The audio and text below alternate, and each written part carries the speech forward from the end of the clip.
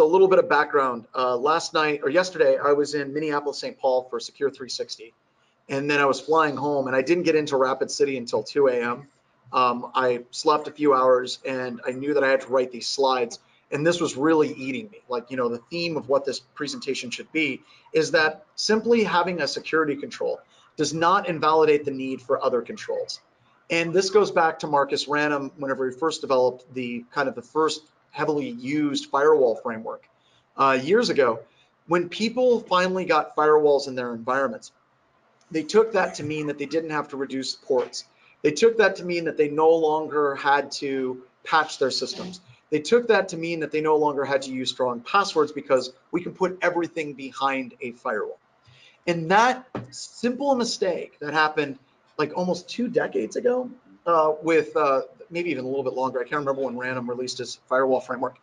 Uh, that one mistake in the way that people thought about computer security still has repercussions to this day because everybody gave up on trying to secure the inside of their environment because they had a firewall that was protecting them on the outside.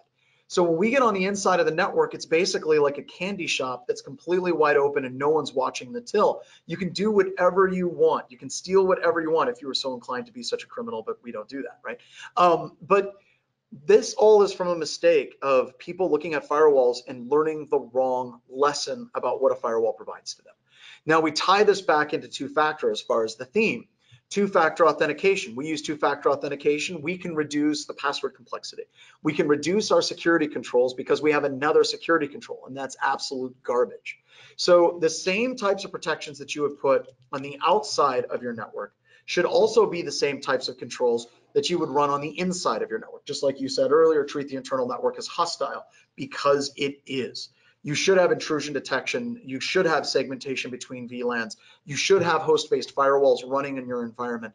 We have not learned this lesson. And for the record, Marcus Ranum almost immediately after kind of came out with this firewall framework, immediately came out and said, y'all are doing it wrong. This isn't the way that I meant for this to be used.